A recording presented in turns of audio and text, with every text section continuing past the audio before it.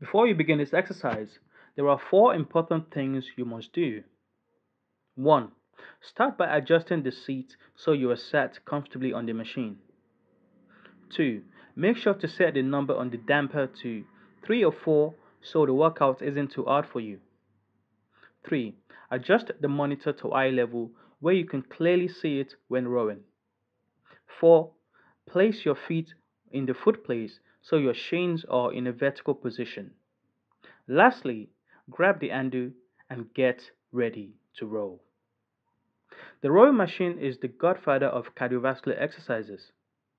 It provides incredible fat burning benefits, such as it's a great low impact exercise, which means it's easier on your joint than, let's say, the treadmill. It targets your upper, lower, and core because it's a full body exercise.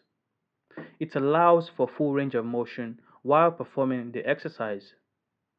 If you're like me, this was the first machine I started with in the gym, and I'm ashamed to say that for the first two years, up until recently, I used this machine incorrectly. There are four movement patterns that you must keep in mind when rowing. 1. The catch.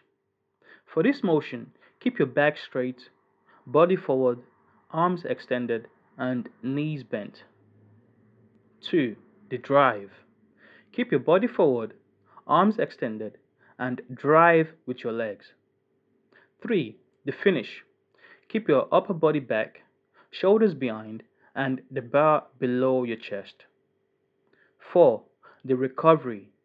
For this final move, keep your arms extended, bar past your knees, and knees bent.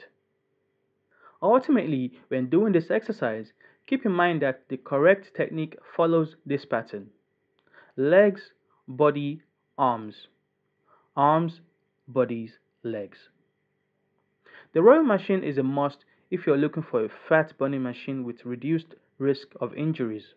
Give it a try and leave a comment below this video to let me know what you think. Before you leave, please like, share and subscribe for more videos like this. Thank you for watching.